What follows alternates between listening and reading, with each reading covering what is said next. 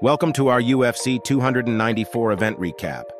Let's start off with our first fight on the list, which is the light heavyweight clash between Johnny Walker and Magomed Ankalaev. In the first round, Johnny Walker received an illegal knee strike from Ankalaev, which changed the course of the fight. After the incident, the ringside doctor examined Walker. His inability to answer the doctor's questions effectively led to the fight being declared a no contest. Dana White addressed the issue during the post-fight press conference, pointing out the doctor's inexperience and the language barrier. This is what he said. The, guy, the guy's inexperienced. He uh, got up in it. There's, I think there's a lot of things that, that probably happened there. I, I guess he asked, uh, I, I guess he asked him, where are you right now? And his response was, I'm in the desert. He's not wrong. Uh, I think there's a big language barrier in there between two of them, uh, inexperience, and you know, just uh, it sucks. It's one of those things that happens sometimes, and we'll make it right and we'll fix it. Tensions escalated in the octagon as both fighters wanted to continue. Dana White had to intervene to maintain order. While a rematch is uncertain, the UFC often schedules rematches in similar situations. Now let's talk about Sharabudin Magomedov's UFC debut at middleweight, facing off against the tough Brazilian veteran Silva. Despite not being able to finish the Brazilian within three rounds, the Russian striker showed off his varied and wide array of talents on the feet.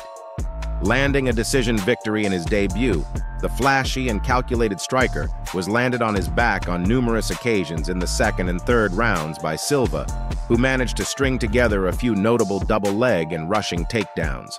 Now, moving up to the co-main event of the night, Kamaru Usman versus Khamzat Chimaev.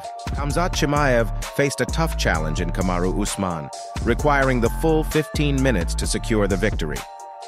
Chimaev's early domination of Usman on the canvas earned him two scores of 29, 27, while one judge scored it a draw at 28, 28, possibly recognizing Usman's late surge. Notably, Usman stepped up to face Chimaev on just two weeks' notice, demonstrating his versatility in a new weight division and against a formidable opponent. Although Usman performed admirably, especially given the circumstances, Chimaev's grappling skills ultimately made the difference. Now, the moment you all have been waiting for, the main event between Alexander Volkanovski and Islam Makhachev. In a stunning turn of events at UFC 294, Alexander Volkanovski's dream of becoming a double champ was shattered by Islam Makhachev, who extended his reign in the lightweight division. Makhachev, the undefeated Russian sensation, put an exclamation point on his rivalry with Volkanovski claiming a first-round TKO victory in their highly anticipated rematch. The fight began with Makhachev making his intentions clear, landing inside leg kicks and a head kick that partially connected as Volkanovski tried to block. Makhachev then attempted a takedown, but Volkanovski defended well, eventually pushing the champion against the octagon. While Volkanovski initially handled Makhachev's pressure, it was the Russian who landed the more significant shots, including a powerful right hook and a stunning head kick that sent the Australian to the canvas. Sensing the opportunity, the champion unleashed a fierce exchange of punches, prompting an early end to the bout. Commentators Paul Felder and Daniel Cormier were in awe of Makhachev's performance.